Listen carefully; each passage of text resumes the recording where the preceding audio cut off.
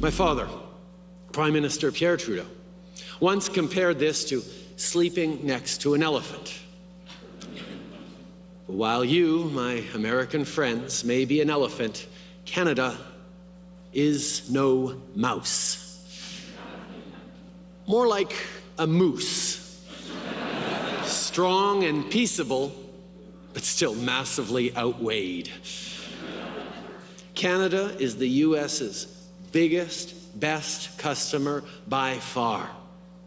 We're a bigger customer than China by roughly $152 billion, bigger than Japan or the UK. No one else even comes close. In fact, Canada buys more from the US than China, Japan, and the UK combined.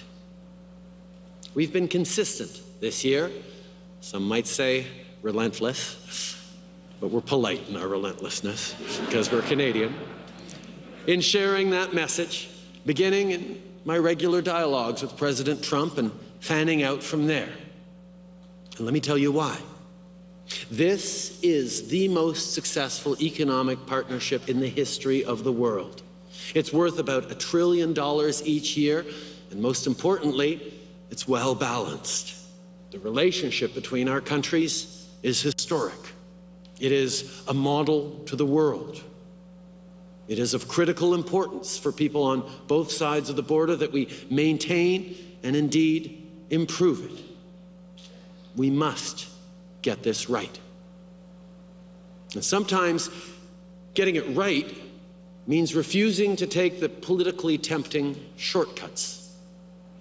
More trade barriers, more local content provisions, more preferential access for homegrown players and government procurement, for example, does not help working families over the long term or even the midterm.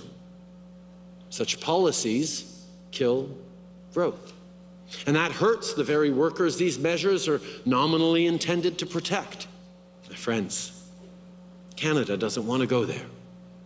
If anything, we'd like a thinner border for trade, not a thicker one.